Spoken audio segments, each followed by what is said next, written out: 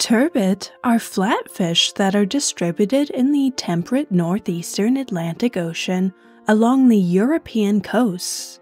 They are also found throughout the Mediterranean Sea and the Baltic Sea.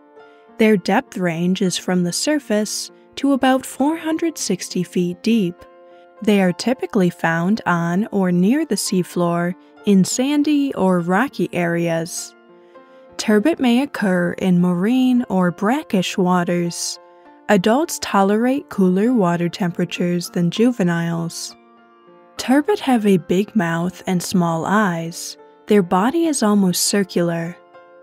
On top, they are generally grayish brown in color with dark spots. Their body color blends in with the substrate.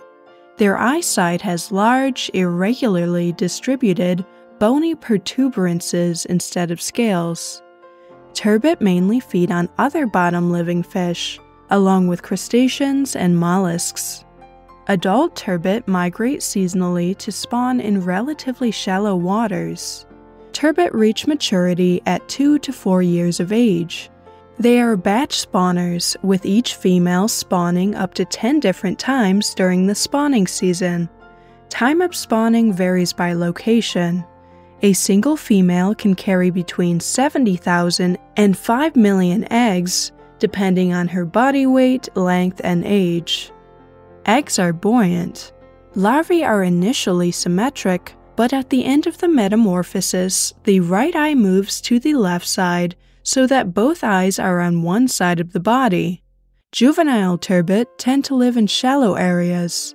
Adults can grow to around 40 inches, but 16 to 24 inches is more typical.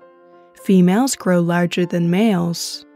Overexploitation is a major threat for these flatfish. Their relatively low larval dispersal, predictable spawning sites, and limited adult migration make them more susceptible to overfishing. They are highly esteemed food fish that are taken in commercial, artisanal, and recreational fisheries. They are also important in the aquaculture industry. Their maximum reported age is 25 years old. For more marine facts, click the subscribe button.